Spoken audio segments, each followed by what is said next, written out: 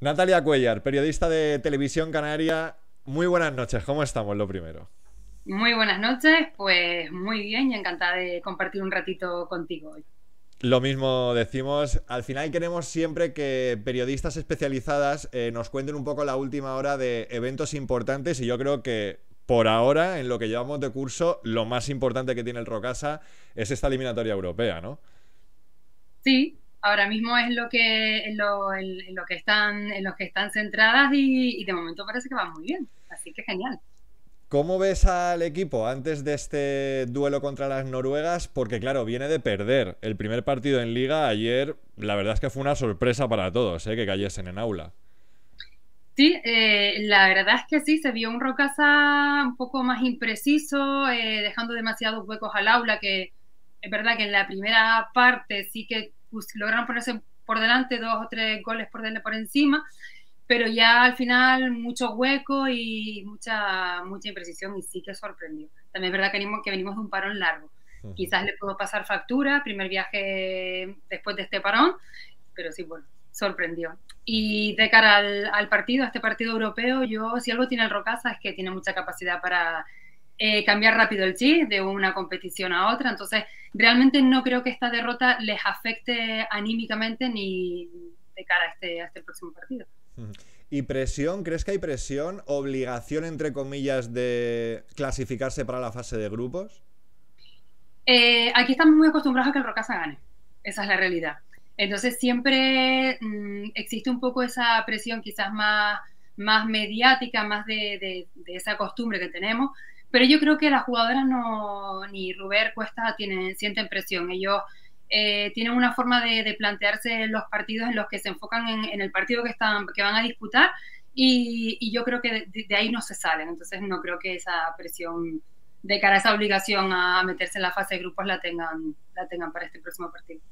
¿Y el papel de favoritas, crees que lo lleva más el Rocasa o que lo lleva más el equipo de, del Sola de Noruega? Porque claro, al final la configuración de plantilla de Rocasa de este año es brutal, con la vuelta de Almudena y de, y de Marta, incorporación de Christensen, la llegada de Zaldúa, que es una pivote de futuro. Bueno. Pues yo diría que sí la verdad es que Rocasa este año tiene un equipazo. Entonces, allá donde vayan, va a tener ese cartel de, favorita, sin duda. Y de momento lo está defendiendo con nivel. La lesión de Silvia Navarro, eso ha sido, ya podemos decir que es lo peor de la temporada, del curso, sin ninguna duda. Ha propiciado también la llegada de otra guardameta, eh, en este caso Canaria, eh, Lourdes Guerra, no sé, ¿cómo lo ves eh, el tema a nivel psicológico, a nivel mental? ¿Crees que ha sido un golpe muy duro para la plantilla, la pérdida de, Silvia? Yo creo que, sí y no, y te lo explico. Eh, creo que sí, porque al final Silvia Navarro es el cerrojo que tiene el Rocasa Gran Canaria desde hace años, eh, portera absoluta, de, las mejores que hay, para mí a nivel internacional, es de las mejores que hay tiene mucha solvencia, tiene una forma de, compañerismo, tanto dentro de, lo que es la, cancha como fuera. Entonces, a esos niveles yo creo que sí, pero por otra parte, el Rocasa no es la primera lesión grave que sufre. Perdió, pues, hace un, no sé si fue la temporada pasada, también perdió a Zaina durante bastante tiempo, otra pieza clave, y siempre se rehace. Es un equipo que, siempre se rehace, entonces yo creo que, que esa capacidad es la que va a permitir un poco compensar la ausencia de Silvia Navarro, que, ojo, eh, sí que digo que, es una, una esencia eh, importante, pues estamos hablando de, Silvia Navarro. Correcto, es que no hay que decir nada más. Con decir el nombre y el apellido ya todo el mundo entiende la relevancia de, su papel. Eh, el hecho de jugar primero en casa y tener, digamos, que sentenciar a domicilio, ¿eso gusta en el equipo o no?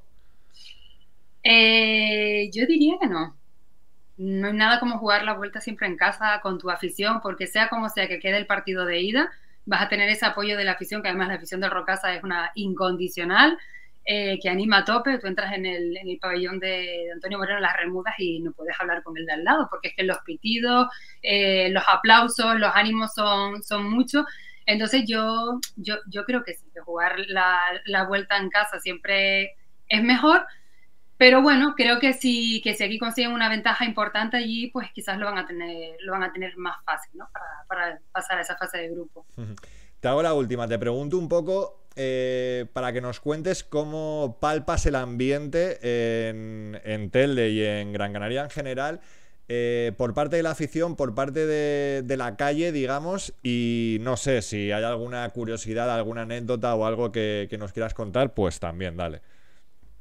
Pues eh, siempre hay ilusión, siempre hay mucha ilusión con, con el Rocasa. Hace muchos años que, vamos a decirlo así, nos hemos acostumbrado a que todas las temporadas lleven algún título y han sido tres, tres, títulos europeos. Entonces siempre hay mucha ilusión porque este equipo siempre sorprende.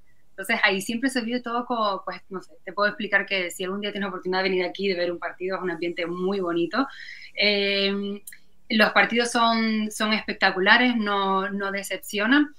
Y, y, nada, y con, muchas ganas de, que llegue el partido para disfrutarlo. Y en cuanto a anécdotas, no sabría decirte. Yo sí te puedo hablar, por ejemplo, de, no sé si pues, se puede considerar anécdota, pero bueno, yo me siento casi una más del equipo, me tratan siempre muy bien. Entonces, cada vez que, que, voy pues, a los entrenamientos, incluso pues, a, algún partido, eh, vives una, una, relación, no sé cómo explicártelo, es, es, muy bonita, es muy, muy ambiente de bromas, entonces y la verdad es que ya te digo, que codearte a esos niveles con, con estas jugadoras de, de, tanto nivel, que te tratan como una más, que son súper humildes, es, maravilloso. La verdad es que Nada que ver con otros deportes, ¿no, Natalia? Tú que además cubrirás un montón de disciplinas en, en las islas. Eh, bueno, nada que ver con otros deportes, no, corrijo. Nada que ver con el fútbol o con deportes ya de alto standing, digamos, ¿no? Como el baloncesto o el tenis a, a gran nivel. Nada que ver, nada, nada, nada que ver. Cuando uno, yo las veces cuando voy a trabajar, ahí siempre es que necesitas, con quien quieras hablar, te lo organizamos.